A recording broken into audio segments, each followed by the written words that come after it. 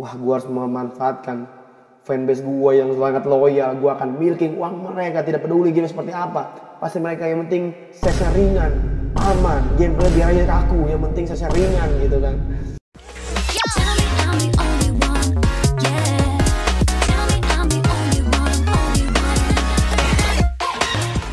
Halo guys, kembali lagi bersama gue Virasyosi di segmen review dan kali ini gue akan ngebagikan pengalaman gue memainkan game terbaru dari Asobimo ya.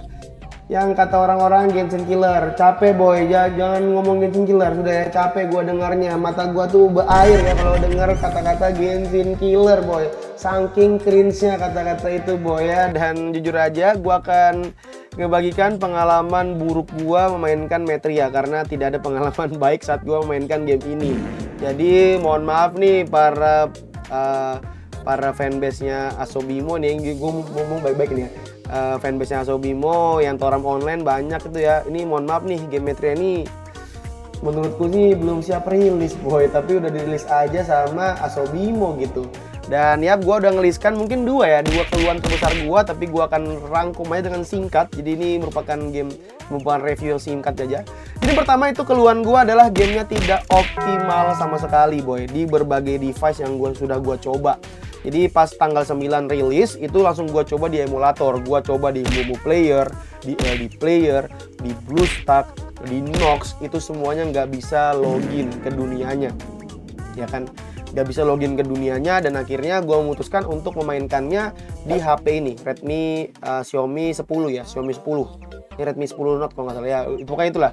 Nah ini kalau nggak salah ini uh, Snapdragon 700 boy ya ini lumayan lah mid lah HP mid boy. Dan pas gue main di sini kan tebak apa yang terjadi. Bisa main tapi FPS-nya hancur. Mungkin FPS terbaik yang gue main dapatkan itu cuma sekitar 30-an Terus yang kedua itu panas ya boy ya ini panas banget. Mungkin kalau gua ba- bawa baju gua, gua gosok itu pakai HP gua pas main Metria itu langsung kayak disetrika nah, itu baju gua. Karena yang panas banget ya.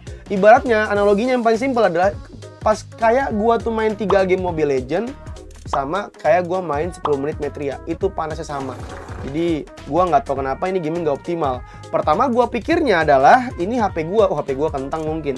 Jadi gua pinjam dong HP teman gua ROG Phone Snapdragon 800 ya kan?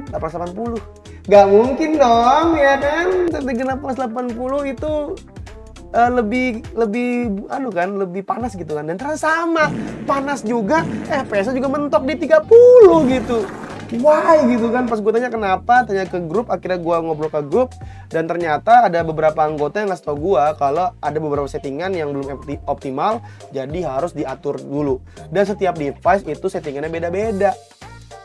Jadi pas gua atur ya lumayan lah. Jadi nggak sepanas kemarin dan eh, FPS-nya bisa naik sampai 40-an tapi untuk game tahun 2023 ini mah buruk banget boy. Ini awal perilisan aja udah bermasalah. Optimasi boy. Ini kan optimasi ini kan sangat-sangat mempengaruhi player yang memainkan game ini tapi itu nggak diperhatikan. Gue nggak tahu apakah sekarang diperhatikan ya. Karena ini mungkin diuploadnya nggak tahu kapan tapi ya itu nih itu yang pertama. Yang kedua experience gue tuh bermain game ini boy. Jujur aja ini tuh kalau rilis di tahun 2016 ini game bagus tapi masalahnya ini game rilis tahun 2023 ini game jadul banget. Gue nggak bohong jadul banget. UI-nya jadul. Terus storyline-nya ini game masih bisu boy. Game gacha bisu tahun 2023 Seven Connect Idol aja ngomong gitu loh Seven Connect Idol ya kan? Seven Connect Idol aja ngomong Terus juga kita bandingin apa? Baduh, kalau dibandingin teman game-game tahun 2023 itu semua udah pernah ngomong. Tapi kenapa Metria ini masih bisu ya storyline-nya dan juga kaku banget gerakannya. Jujur ya, ini kalau uh, gua nyuruh keponakan gua ngelihat dari jauh, ini tebak ini game apa? As- ini game Toram atau Metria? Jawabannya pasti ini Toram gitu. Karena dia nggak tahu Metria. Karena Metria ini rilis juga nggak ada promosi boy ya kan? Karena betul-betul sama. Ini ibaratnya Toram. Tapi ya mungkin di eh, ibaratnya Toram itu senjata senjata plus 0 ditempa sampai plus 6 ya jadilah Metria gitu. Dan gameplaynya. Aduh gameplaynya.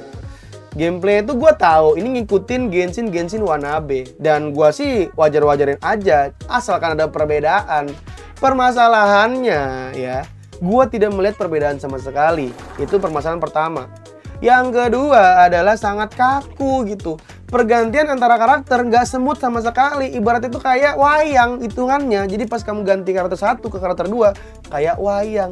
Terus pas battle itu juga ya game-game orang pada umumnya jadi kaku banget dan yang paling lucu jika musuhnya terbang di atas langit kameranya juga ikut terbang gitu. Kita ngeliat apa? Ngeliat orang terbang gitu kan? Itu itu lucunya boy. Dan itu sangat sering terjadi permasalahannya. Ada skill yang ngangkat musuh terbang kamera ke atas langsung. Dan kalau kita pakai archer juga kameranya ngawur kadang-kadang kalau auto locknya nyala. Itu boy. Itu experience pertama. Bayangin gue 8 jam main Metria dari tanggal 9 pas perilisannya. Sampai sekarang gue nggak ada enjoy enjoy sama sekali main pertama masalah optimasi. Yang kedua gameplaynya ngawur. Itu dia. Dan juga perubahan antar karakter. Ini kita akan bahas ya. Antar karakter tuh perbedaan itu sedikit banget gitu. Kalau kita bandingkan ini mohon maaf ya gue akan bandingannya sama game-game uh, 2023 dan perbedaan karakter itu kan jelas banget bedanya. Efeknya beda dan lain-lain. Ini cuma beda warna dan beda animasi.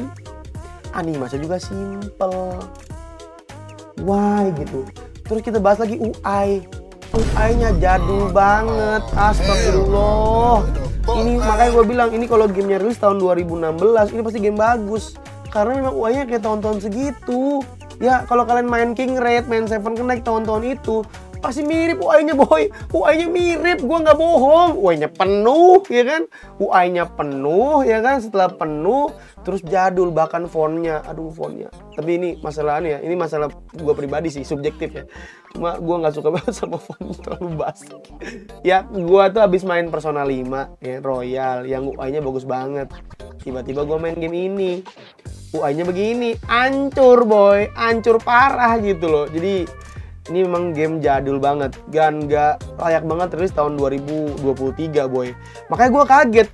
Padahal pre-alpha tahun ini tahun 2023 pre-alpha itu tiba-tiba udah full rilis. November. Itu gila cepet banget boy.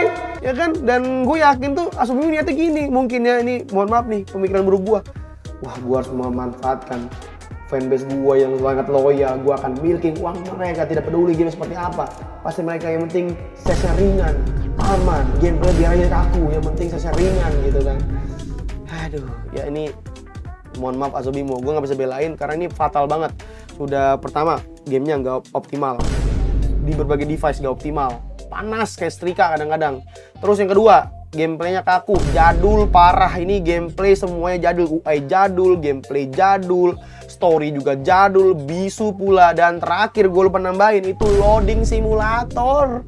Ya gue ada bayangin ya gue ada misi. Dapat misi ngebantai 30 serigala. Wah oke gue ke map yang ada 30 serigala. Uh gue bantain tuh gue kembali lagi. Loading lagi ya. Loading lagi. Gue masuk rumah untuk ngelapor misi. Loading lagi. Tiga kali loading buat menyelesaikan itu boy. Ya loading simulator. Aduh capek. Ya aduh Subimo why? Gitu loh. Gue nggak tahu kenapa Subimo ngelis game seperti ini boy. Tapi yang jelas ini ini mah kacau boy. Dan gue kalau kalian pengen coba silahkan coba. Karena game juga gratis ya. Jadi silahkan aja kalian coba. Tapi kalau dari gue pribadi gue sih skip ya. Gue skip banget. Jadi gue udah coba 4 jam main eh gue 4 hari main game ini dan experience gue buruk. Tapi kita berharap aja Asobimo itu memperbaiki hal ini. Tapi jujur boy dari ini dari core core gameplay udah udah salah gitu. Jadi ini kalau dibaikin sih udah banyak banget yang dibaikin boy ya udah semoga kalian suka dengan video ini. Kalau kalian sependapat sama gua silahkan tulis di kolom komentar di bawah. Tapi kalau kalian tuh pengen membela-bela Metria silahkan juga tulis di kolom komentar di bawah. Kita berdebat saya di bawah boy. Oke lagi thanks semuanya sampai jumpa. Jangan lupa kita underboard ID untuk mendapatkan informasi game menarik atau bisa follow Instagram kita sendiri yaitu Virosity jika kalian tidak, keberatan. Ya so itu thanks semuanya sampai dan kalau kalian pengen hemat kuota jangan dicoba game ini.